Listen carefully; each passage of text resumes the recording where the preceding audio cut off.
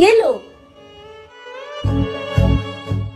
अरे आप खा क्यों नहीं रहे हो? मेरी मम्मा भी भूखी है ना। आप दो मिनट रुकोगे?